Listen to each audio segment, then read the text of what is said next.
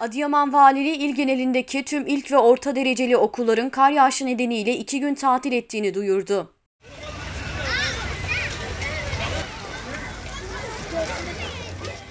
Önceki akşam sadece taşımalı eğitime bir gün ara verilmesine karar veren Adıyaman Valiliği bugün eğitim ile ilgili yeni bir karar aldı.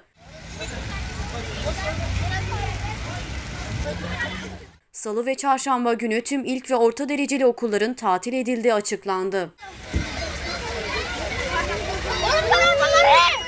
Adıyaman Milli Eğitim Müdürlüğü tarafından yapılan yazılı açıklamada ilimiz genelinde olumsuz hava koşullarına bağlı bir olumsuzluk yaşanmaması için 18.01.2022 Salı ve 19.01.2022 Çarşamba günleri valiliğimiz kararıyla Adıyaman il genelinde eğitim öğretime iki gün ara verilmesi kararlaştırılmıştır ifadeleri kullanıldı.